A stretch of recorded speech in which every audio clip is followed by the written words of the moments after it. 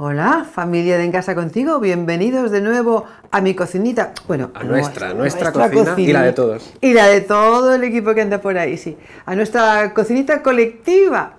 Y hoy vamos a hacer para vosotros, seguimos con la tradición de los sándwiches, que sabemos que os gustan mucho, y sobre todo esos sándwiches de Tomás, que son esos americanos típicos de los diners de carretera, que son, bueno, que son famosísimos, yo creo que por el cine básicamente, y por esa comida rápida, pero muy, muy, muy, muy, muy sabrosa, muy económica y muy fácil. fácil y fácil. Que es lo más importante realmente, sí, sí, sí, Para todos nosotros. Y hoy nos tiene que hablar de ese sándwich que creo que es un, un tuna melt. Un tuna melt, pero que bueno, que aunque nosotros hayamos usado hoy eh, el, el, ingrediente estrella, que es, que es el atún, lo podemos cambiar por cualquier otro. Por ejemplo, un pollo desmigado, pollo desmigado cocido, le va también perfecto. Porque el tuna melt, en definitiva, es eso. Es un sándwich de atún con queso. Fundente, claro. Eh, le, sale bien eso. No es fundido, es fundente. Es fundente, sí, sí. Que se funde. No está fundido todavía. No, porque se funda ahí cuando, lo te, cuando te lo comas. Pues Entonces, y bueno, y vamos a hacer dos versiones. Una que es eh, con, con pan de molde y otra pues con el pan típico de barra o pan francés y se va a quedar como un panini, muy mm, rico. Qué rico. Pues nada, estoy deseando ya ver cómo lo haces y fijaros bien porque Tomás siempre tiene sus truquitos para estos sándwiches. así que vamos a apuntar todos los ingredientes. 300 gramos de atún en aceite bien escurrido, una taza de mayonesa, un cuarto de cucharadita de mostaza dulce, media cucharadita de zumo de limón, de una a dos cucharadas de apio, una o dos cucharadas de pepinillos, una o dos cucharadas de cebolla, pan tipo francés o de barra que ya está tostado, pan de molde para la versión del sándwich, dos lonchas de queso para fundir para cada uno de los sándwiches, cuatro rodajas de tomate para la versión panini, un poquito de mantequilla para la versión sándwich, una pizca de pimienta, una pizca de sal y por supuesto patatitas fritas y pepinillos para acompañar nuestro delicioso sándwich. Estos sándwiches tienen que llevar pepinillo o pickle. Sí, claro, es, y las chips. es lo típico. Patatas chips, eso tiene que llevar. Entonces, vamos a mezclar primero nuestra taza de mayonesa. Eh, que la vamos a poner, vamos a reservarnos un poquito, porque lo que eh, el punto que se le tiene que dar a esta ensalada de atún es que quede un poquito eh, mm, jugosita, que, no quede muy seca. Entonces, nos vamos a reservar un poco porque luego podemos rectificar, eso es. Vamos a echar una puntita. La, puntita, la puntita es para que le dé ese toque especial, ¿eh? Claro. Y el limoncito. Y el limoncito igual. El punto ese. vamos a mezclar esto. Y ya que lo tenemos así mezclado, se lo vamos a echar a, nuestra, a nuestro atún, que está, como veis, bien escurrido del, del aceite. ¿eh? Sí, eso es importante. ¿Eh? Si no, estaría como navegando, ¿verdad? Eso es. Entonces mezclamos y ahora comprobamos si necesita de más mayonesa o no. Mezclamos esto primero. ¿eh? Lo mezclamos bien. Y añadimos el apio, que en este caso vamos a poner dos cucharadas de apio, dos cucharadas de los pepinillos y de cebolla, pero ellos en casa que hagan lo que quieran, porque esto es una ensalada muy libre, ¿eh? Claro que sí, depende. Se presta, eso es. Y depende de los sabores más favoritos de la casa. Eso es. Y todo bien picadito. Todo bien picadito, eso es. Y seguimos mezclando. Y ya tenemos, fíjate, qué buena pinta, ¿eh? Al punto, al punto total. Y la vamos a reservar. Bien. ¿Eh? Un poquito. Porque ahora vamos a hacer nuestra versión panini. Versión ¿Eh? panini. Que como veis, ya tenemos nuestros trocitos de pan eh, tostados. Este, fíjate que ya tiene la hendidura hecha, esta la vamos a aplastar un poco. ¿Para que quepan las cositas dentro? Sí, porque encima lo que le vamos a poner es nuestra ensalada de atún, una rodajita de tomate y un poquito de queso. Pues... ¿Eh? Así que vamos a ello. Allá vamos. Esto, bueno, hay que ser un poquito generosos. ¿Eh? Porque... A mí no me lo digas que adoro el atún, no sé a qué. Claro. Ay, ay, me lo comería todo.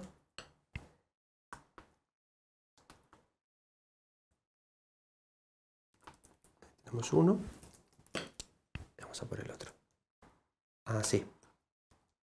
¿Eh? Y ahora, ¿cómo completamos esto? Con unas rodajitas de tomate. en cada uno. Qué bueno. Sí. Y qué color tan bonito. Eso es. Y ahora, a este tomate por encima vamos a añadirle una poquita de sal y un poquito de pimienta. Si os fijáis, no le hemos echado sal aquí a la, a la ensalada porque el atún ya está bastante salado. Normalmente tiene ¿eh? un poquito De todas de sal. formas, probarlo y si veis que le falta un poquito de sal, se lo añadís. ¿Eh? Eh, nosotros aquí le vamos a echar una pizquita de sal y un poquito de pimienta. Este toque de pimienta le va fenomenal, ¿eh? Hombre, le da una alegría. Eso es. Y ahora el quesito. Y el quesito, estas rodajitas, también vale con mozzarella, ¿eh? Con mozzarella, con, lámina- con tiras de mozzarella también vale. Entonces se lo ponemos así. ¿Te imaginas ya el resultado? Sí, sí, no, no, no. Me lo imagino clarísimamente. Por aquí. Y ahora la otra rodajita. Vamos a partir. Vale. Y ahora simplemente voy a traer la bandeja de horno. Que ya tenemos nuestro grill preparado, encendido. Porque simplemente esto en 3-5 minutos está listo. Pues te lo llevas tú, quítalo de aquí, pues no me lo como. Vamos. Llévatelo al grill. Y ya tenemos nuestros paninis con la ensalada de atún. Cuidado, no te quemes. No, no, no, no. Porque está salido, recién salido del horno. Entonces, simplemente lo único que vamos a hacer es presentarlo. ¿eh? Cuidado que no me queme yo. Eso, eso, a ver, sí. ¿eh? Y ahora, ¿con qué lo vamos a acompañar? Pues con unas patatitas. ¿Eh? Las vamos a poner por aquí. Y un trocito de pepinillo. Vamos a ponerle tres. Y ya está. Ah, qué cruzadito. Muy bien. ¿Veis? Pues bueno, una vez listo ya eh, nuestro, nuestra versión panini, vamos a hacer la otra versión, la de la versión sándwich. La versión Está muy sándwich. rica, ¿eh? Entonces vamos a retirar primero esto. Muy bien. Y ahora ya vamos a traer nuestros trocitos de pan. Y la versión sándwich es simplemente a la plancha. ¿eh? Y para que tenga ese tostado tan bueno, le vamos a untar con un poquito de mantequilla. Por supuesto. Y la mantequilla que cubra toda la superficie del pan, ¿eh? Eso es importante. Sí, esto lo dice siempre Tomás y tiene mucha es. razón. Que no haga por correr, por correr. No, no, no, no, no, no, no, no. No, hay que darse un segundito. Todas las esquinitas bien cubiertas. Hasta el último rincón. Un poquito más. Aquí. Vale. Entonces, tenemos que procurar que las dos caras que están cubiertas con mantequilla sean las que eh, contacten con la sartén. Entonces, a una de las caras le damos la vuelta. Y encima de esto, nuestra ensalada. Wow. ¿eh? Como una cucharada o dos cucharadas. ¿eh? También que cubra por todos lados. ¿Y ahora qué le tenemos que poner por encima? Quesito. La loncha de queso. Una lonchita o dos, como queráis. Como tú dices, el queso fundente. El queso fundente, eso es. Cerramos. Y ahora esto nos lo llevamos a la sartén. Enchufamos. Y a fuego medio, fuego bajo, así, para que se funda bien la mantequilla y nuestro eh, sándwich quede muy rico. Y después de 3-5 minutos, le damos la vuelta. Y aplastamos un poquito, ¿eh?